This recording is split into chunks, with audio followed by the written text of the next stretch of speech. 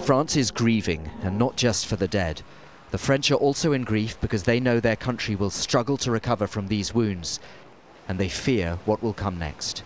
This is the Place de la République in the centre of Paris, but the silence was observed across the country, a long, poignant pause. But even as the country mourned, there was another attack on the streets of Paris. In Montrouge, just south of the centre, two police officers shot. And shortly afterwards, colleagues heard tragic news. One of those shot, a police woman, had died of her wounds. And yet again, the killer got away. We don't know that there is a direct link between this attack and Wednesday's attack on Charlie Hebdo.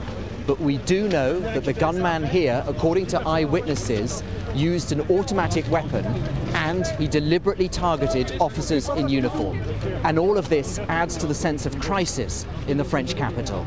These are the prime suspects for Wednesday's attack. The French police say Cherif and Said Kouachi, brothers of Algerian descent, are armed and dangerous. Cherif has a previous conviction for helping send jihadist fighters to Iraq. There are reports that they were seen on Thursday in a car in the Aisne region of northern France. President Francois Hollande says this is a time for national unity. La France a été frappée en son cœur même. France has been struck directly in its heart, the capital, in a place where the spirit of liberty and resistance breathes freely.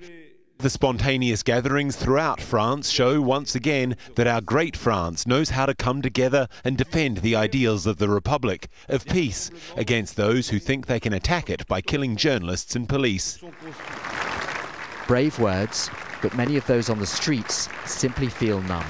And feel empty. It's something so un unbelievable and uh, they were like my family and uh, like me they, they, they like so much laughing and uh, and uh, against the, the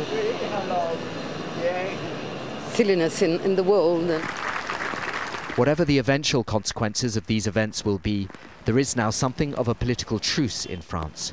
For the authorities, the priority is to catch killers on the loose.